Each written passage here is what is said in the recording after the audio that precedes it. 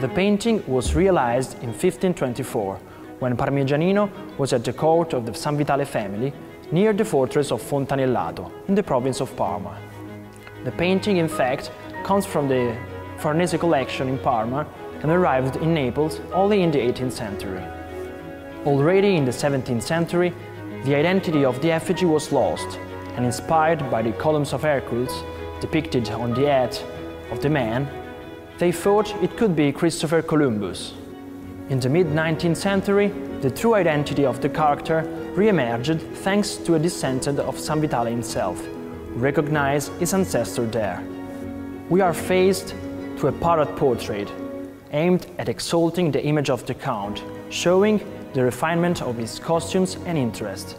So we can see the French-style dress, the feathered cap with cameo, and the iron bed and the armor. The medal bronze in his right hand has been interpreted in various ways.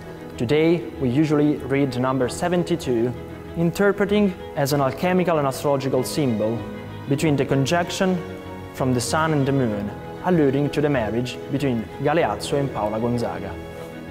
Portrait of Galeazzo Sanvitale, Parmigianino, 1524.